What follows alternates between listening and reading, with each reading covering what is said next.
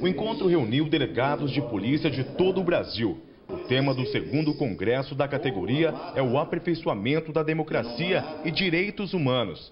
Em ano de Operação Lava Jato, o foco do debate é encontrar estratégias de enfrentamento à corrupção. Então a corrupção ela tem diversas facetas. Nós consideramos algo errado, equivocado, uma autoridade que recebe um salário de 30 mil reais, 40 mil reais, e ainda se acha no direito de receber auxílio alimentação, auxílio moradia. Por quê? Isso é um desrespeito ao trabalhador que muitas vezes vive com um salário de 778 reais. Então nós queremos mostrar esse lado, é, essa questão da corrupção, que ela é muito mais profunda do que as pessoas possam imaginar.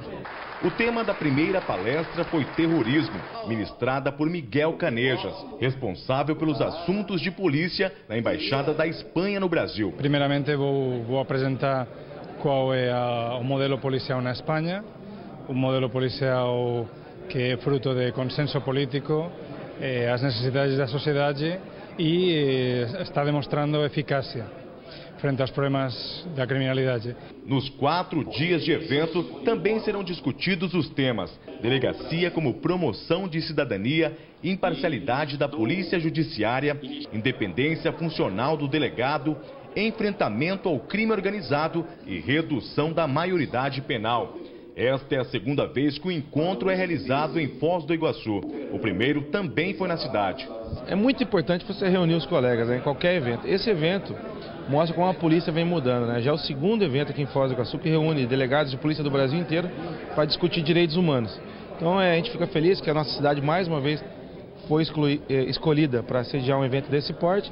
E para mim, como delegado de Foz do Iguaçu, é muito importante né? ver colegas aí de todo o Paraná, de todo o Brasil, a gente poder debater um assunto tão importante como esse. A importância é essa integração com as outras forças policiais e de segurança, a integração com os delegados aqui da Polícia Civil, né, a Polícia Militar, também com a presença de autoridades policiais dos outros países, né, eh, do Paraguai, por exemplo, que estão aqui presentes.